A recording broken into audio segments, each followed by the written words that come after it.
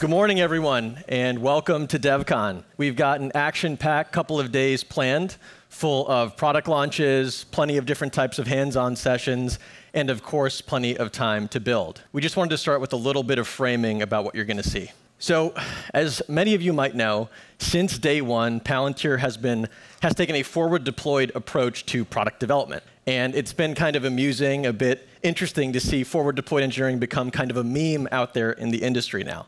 And hearing people like venture capitalists start to tout it almost as a piece of like a fashion statement.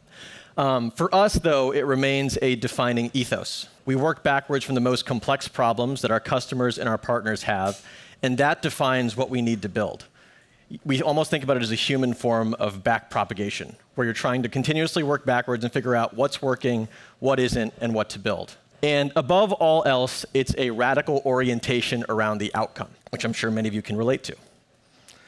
Now, with generative AI and AIP, this means specifically enabling builders to deploy AI products in the most mission critical context in the world. This is staff scheduling in hospital settings.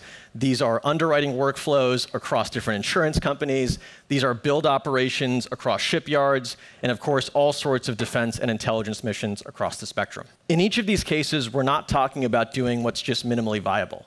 We're talking about doing what's maximally ambitious.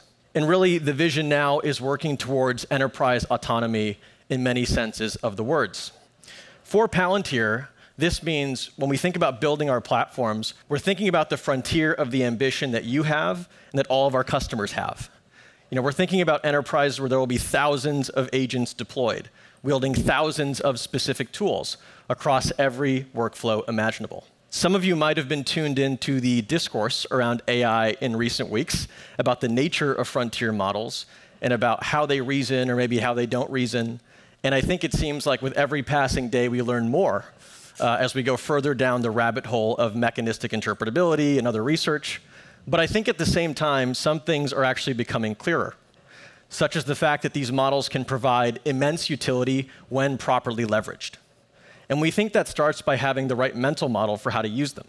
We think that they constitute their own distinct category of what we call as AI labor. You have traditional human effort and human thought, you have traditional computation, and almost as like a conceptual bridge, but its own distinct category, you have AI. And what that means is, in addition to all of the concerns and things you have to do when it comes to building products and services, you now, almost in pursuit of building AI products, have to engage in what is, what is essentially a rigorous form of alchemy to figure out the balance between human, AI, and traditional computation. And it's an iterative, inductive process where you're trying to figure out, maybe in a first stage of a workflow, you're inserting AI in one part.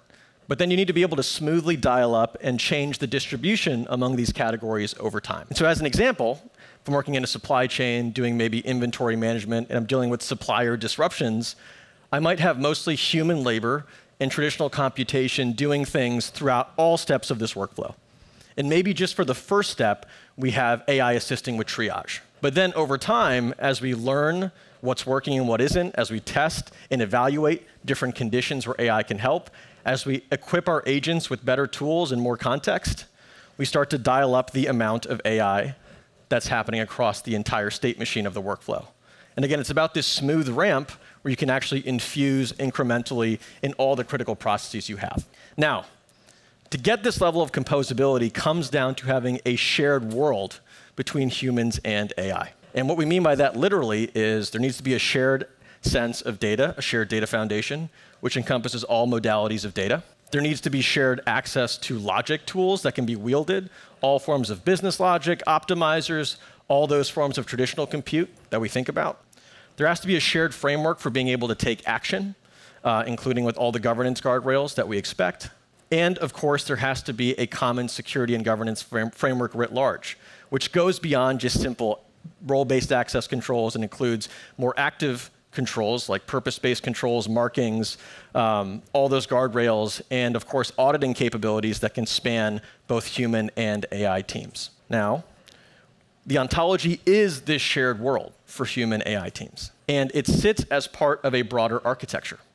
Because if we think about everything it takes to power, to build, to wield these, these foundations that you're going to deploy your critical workflows atop. It requires everything from multimodal data integration to change management to a full spectrum tool factory, to all the security and governance features, application building, all the APIs and SDKs. It really constitutes kind of a whole category in and of itself. And this is the goal of what we're trying to do with Foundry and AIP powered by Apollo. And you know, if you think about all the requirements that go into this, what it takes to go from these raw inputs and commodities to the outcomes, it actually starts to add up. It kind of runs off the page here.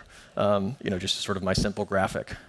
But we think, our conviction here at Palantir, is that really it constitutes a new category in the AI stack. So if we think about kind of a simple rendition of this, from energy on up, of course, there's raw energy. You then have chips, you have data centers, you have the frontier models that are increasingly commoditized and available, but increasingly powerful as well. And then there's everything you need to get from that to differentiated outcomes, products, and services. And we are maniacally focused on providing this AI infrastructure for developer teams, for enterprises, for everybody looking to achieve value with AI. And this is what we think you need to build and deliver full spectrum AI products in the cloud, at the edge, for your customers, and throughout your enterprises. So, today, what you're going to see is a whole bunch of investments across every part of this AI infrastructure stack. New ways of building automations, new ways of being able to manage your ontology, new additions to the SDK, new ways of being able to deal with new, new forms of data, um, new ways of being able to manage all the workflows you're building, and even an AI forward deployed engineer that helps you build and orchestrate across all of these things together. Again, we're super excited to have you all with us here today.